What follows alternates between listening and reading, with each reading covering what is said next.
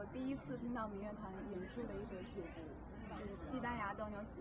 那时候我才大一，然后是在呃校迎新晚会上的时候，我第一次看到民乐团演出，然后那首曲子就把我震到了。我就想，天呐，这个西洋乐器和民族乐器可以融合的这么完美，然后我就就想要加入民乐团了。嗯，我觉得民乐团对于我来说意味着大学的开始。因为我在军训第三天的时候就已经进团了，那个时候，嗯，真的好喜欢民乐团。嗯，民乐团对我来说，我首先会想到的是压力。大二刚进去的时候，跟不上大家排练的节奏，而且后来笛子声部就只有我和华哥两个人，每次排练的时候手心全部是汗。呃，这么跟你说吧啊，对着镜头啊。就是说，呃，别人要问我这大学四年都干嘛了，我其实我最想说就是我我在我在搞音乐，这样说会有有一种自豪感。当然，在民乐团，他给予我的东西就是说，呃，最多的就是这种这种自豪感。大概大概继续，没了。哎，这什么问题来着？音乐团对你来说意味着什么？哦，意味着，我觉得最意味就是一种自我的一个锻炼的的一个一个提高，专业水平没什么提高，反正其他方面我我我感觉还是挺有提高的，挺好的，就是能认识能认识这么多朋友是吧？呃，意味着，我感觉你好官方啊，不好。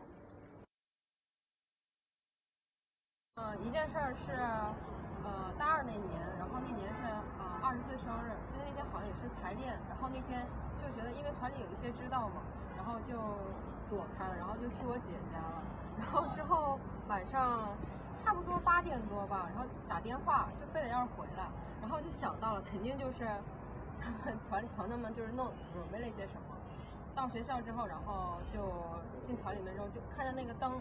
走廊里可以看到灯的嘛，灯是黑的，然后就想到了进去之后，然后第一次听民乐版的生日快乐曲，特别感动。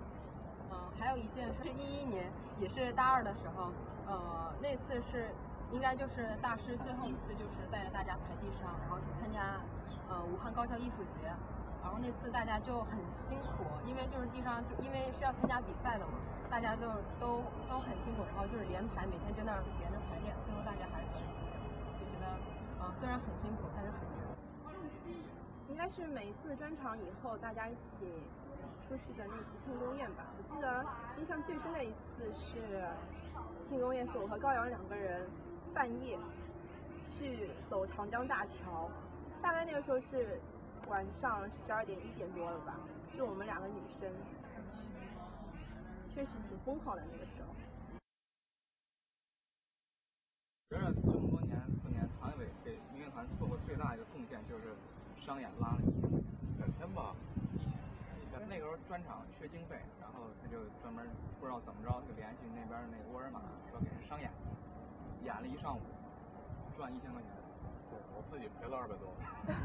前年去那个拉伟联在沃尔玛，然后他们玩游戏玩了之后。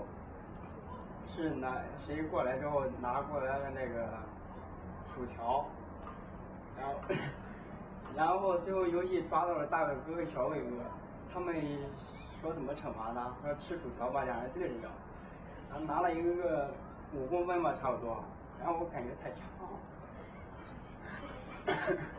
我又我又给吃了一半。好恶心等一下，等一下啊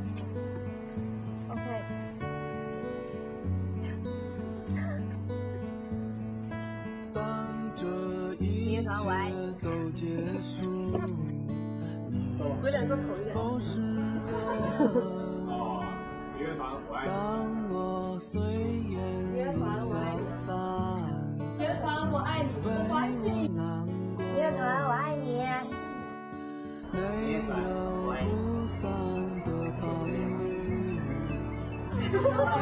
走